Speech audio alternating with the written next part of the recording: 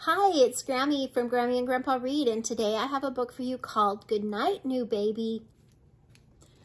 Good morning, newborn baby, in your mother's arms. We are ready to share a wonderful day. Good morning, friendly doctor. Give the baby a checkup. Greetings, proud family gathered around the baby.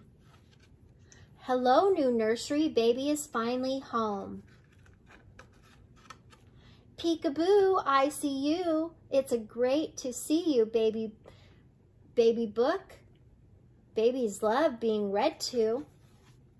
Good afternoon, hungry baby. Good afternoon, changing table. Daddy is changing baby's diaper. Hello, baby stroller. Grandma and Grandpa are walking with baby. Good day, baby mobile. Baby is having so much fun touching and feeling. Babies love to giggle. Babies like to ride in baby carriers.